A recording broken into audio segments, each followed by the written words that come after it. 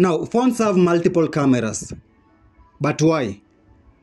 And do they all really work? Well, let's try it out. And now, if your phone has more than one camera, I need you to set up your camera, then try blocking the rest of the cameras. You'll notice that one camera displays, the other ones does not affect the display of the camera. Yeah? Even if you block that main camera which is displaying, you'll notice that the rest of the cameras won't display anything. And why does your phone have them if they don't work? Well, let's take it back. Do the rest of the cameras in your phone really work? Now let's try the experiment again. Now uh, for Samsung phones, I know this will work pretty well. So now try this. Now change the uh, modes in your phone.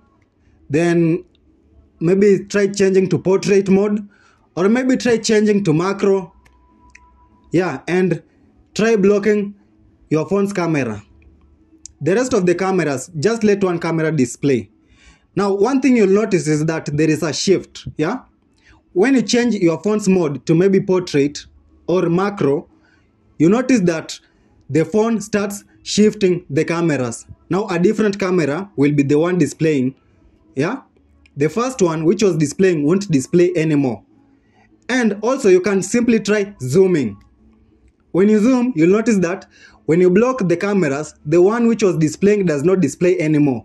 The display has shifted to the other cameras. Now, you have seen that all these cameras actually work. And I'm sure this will work for Samsung phones. Now, if your phone does not shift the cameras, then don't worry, they still work.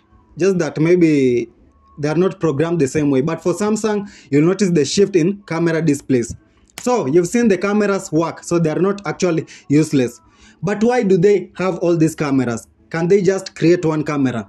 Now, one thing you need to understand is that professional cameras, uh, for example, the one I'm using, you find a setting like zooming in, it can shoot wide angles, things like those. You find a lot of settings in just a single camera. Yeah, you can change the lighting.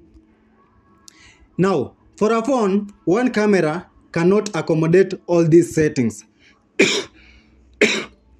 yeah?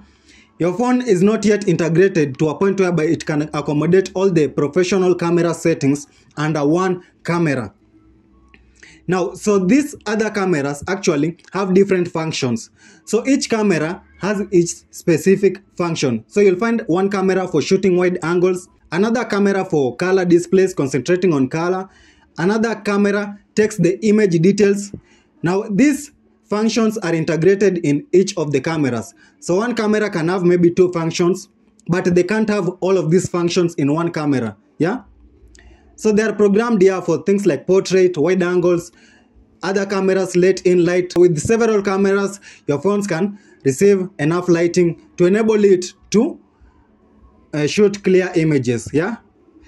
So now you know why your phone has multiple cameras. For more cool videos and more informative content, make sure you smash that subscribe button.